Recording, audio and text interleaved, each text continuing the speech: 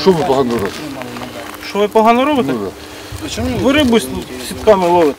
Мішок, резинові чоботи, рукавиці та дві сітки із рибою. Затриманням на гарячому завершився дводенний рейд інспекторів з охорони навколишнього середовища на Кам'янському водосховищі. В ході відпрацювання акваторії водосховища були помічені особи, які знаходяться на воді в темну пору ч- час доби і займаються незрозумілими справами. При виході їх на берег було затримано, в них виявлено сітки, рибу. Це робили дід, батя, прадід. Ну та й що? Всі ловили сітками і що там. Рибалка винним себе не визнає. каже, риболовля це ремесло його родини, але не на камеру зізнається. Знає, що порушив правила вилову риби. Державний інспектор тим часом пояснює суть порушення. Заборонені знаряддя лову, е, і тут є заборонене місце для риболовлі будь-якої, навіть любительської. Це передбачено нормативно-правовим законодавством України безпосередньо правилами любительського та спортивного рибальства. І ну, також іншими нормативно-правовими актами. Є роз'яснення Верховного суду щодо ловлі.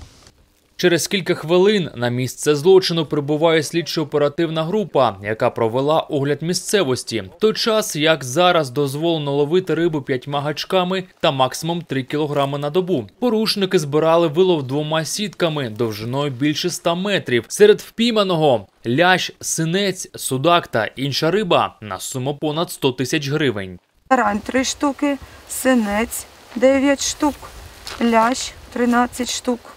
Сітка, це була свіжевиловлена риба. От. Все це фіксується за допомогою огляду місця події та відеофіксації, яка фіксується на службову бодікамеру. В подальшому все це реєструється в черговій частині, е, вноситься в держ...